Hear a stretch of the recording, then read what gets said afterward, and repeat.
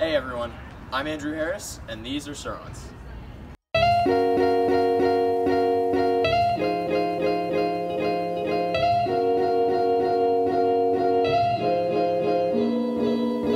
Hey guys, I wanted to make this channel because I noticed that there was a lack of electric bike and Sur-Ron content on the internet, and I wanted to help educate the community. In this video, I'm going to break down the modifications I've made to my Sur-Ron.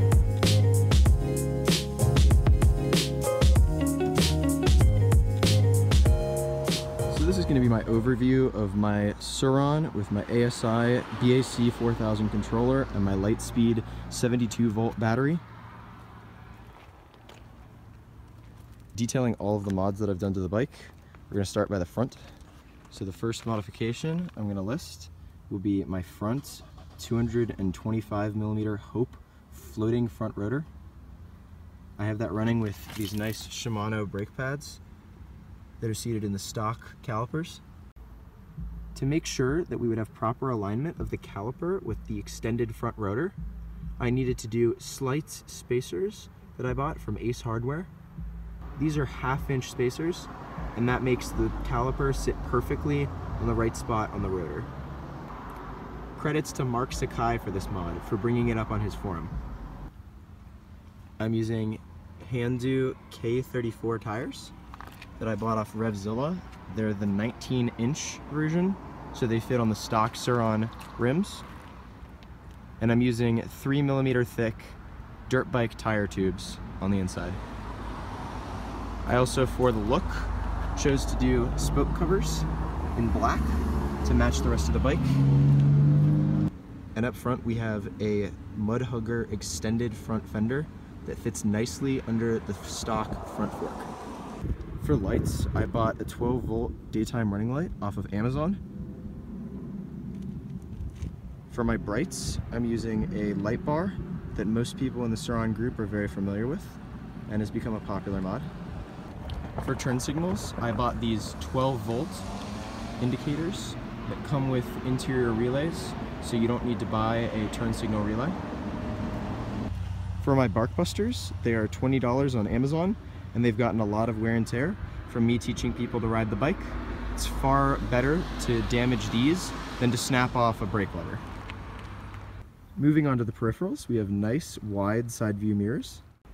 These can be bought for $15 on Amazon. For the phone holder, we have a Vava phone mount. Very easy to put your phone in. Auto locks, and then you press a button to release. So on the left, we have all of the controls. We have our daytime running light, which is on by default, and our brights that can be turned on by switching this up. We have front turn signals, which can be switched on and off in the direction that you want to turn. On the left, you'll notice that I have a half turn electronic throttle. That controls my regen braking. This throttle came with my ASI BAC 4000 controller from ERT. For comfort, I have ProTaper grip donuts. In the middle, we have a TFT color display that came, once again, from ERT with my ASI BAC 4000 controller. And it has three speed modes that allow me to switch on the fly Power in mode 3 is full power. Power in mode 2 is 2 thirds power. And power in mode 1 is one-third power. The top speed for each of these modes is also limited to one third, 2 thirds, and full. This adjustment can be tinkered with in the ASI BacDoor app using field weakening settings. Underneath, we have the ERT ASI BAC 4000 controller. It does get a little bit warm, so I am planning to install a heatsink. We're running the stock motor with a stock bash guard. Inside here we have the 72 volt battery from Lightspeed. Currently I'm running a stock rear spring and shock absorber, though I plan to upgrade it so that I can have more weight on the rear seat, especially when I'm shuttling around other people. On the rear, we have a Mudhugger extended rear fender this can be bought on eBay. So now onto the rear. I have an active brake light. It's a 12 volt that I bought off Amazon.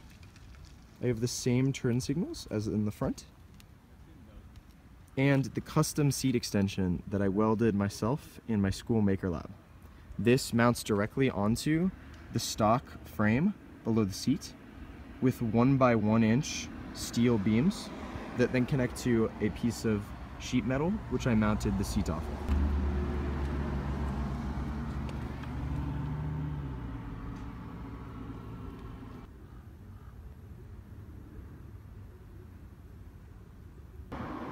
The seat can definitely support the weight of a person, but currently I do not have rear foot pegs, so if I ride with a passenger, I let them use my foot pegs for stability purposes, and I just ride with my legs hugging the battery. For safety, because the bike is all black, I chose to use red reflectors in the rear and orange reflectors in the front. I have a GoPro mount on the side of the bike to give an interesting front perspective. In the rear, I'm running the stock 48 tooth sprocket with a gold X-ring chain that I bought off Amazon. This is the K34 tire from Revzilla. The front wheel is running 2.75 inches wide and the rear is running a 3 inch wide. This is very, very close to the threshold of the clearance of the chain. Clearance in the front was also a tight squeeze, but the 2.75 inch wide tires fit perfectly.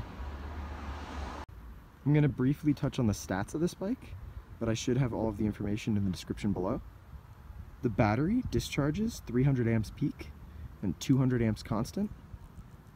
Currently, through the ASI BacDoor app, I have limited the battery current to 14.4 kilowatts.